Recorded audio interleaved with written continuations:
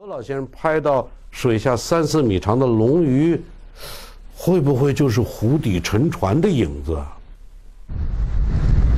此刻，两名潜水员从沉船的上方浮出水面，他们发现，经过近半个小时的水下拍摄，他们的位置，啊，已经发生了很大的变化。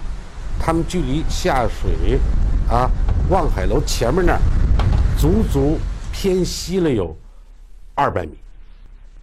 看来何老拍摄的既不是什么落叶，也不是水草，更不是什么沉船。哎呦，说来说去还是一头雾水呀！到底是啥呀？啊？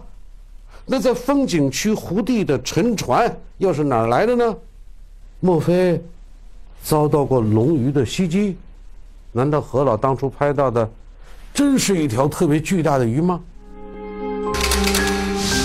经过对湖光岩水体取样分析，潜水员在水下看到的悬浮黑点儿，这个秘密终于揭开了。原来那就是湖底的水藻和火山灰漂浮物。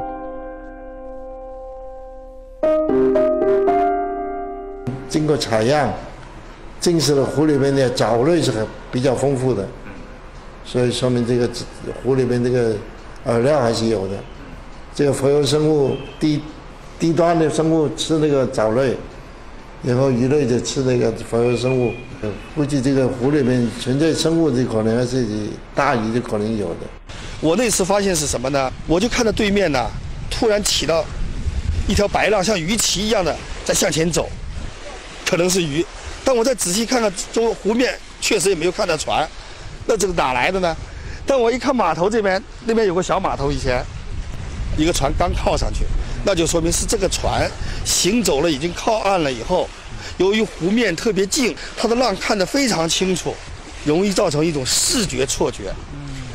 我那上次看的可以确认，它就是浪在往前走，浪还没有完全消尽。采访的最后呢，当地人对我们记者说呀，在十几年前，湖光岩的水位下降，附近的水库呢曾经向湖内开闸放过水。也就在去年，一位当地的村民在湖里抓到了一条一点五米长、六十多斤重的。胡子鲶鱼，这些年的日子好了，不少人呢还会向湖里放生，所以这个水里啊啥鱼也都有啊，品种好的长期没人打扰，那这饮食充足，它长大了啊，那也不足为怪啊啊，那也是有可能的呀。说老实话，您也好，我也好，都觉得有点失望啊，有时候也的确。这真相啊，和我们的希望啊、想象之间呢，有时候看着距离很大，其实就是那一层窗户纸，捅破的并不难。可我想，我们偏偏选择我们不去捅破的，可能更能显现出我们人类别样的一种智慧。这话您好好琢磨琢磨。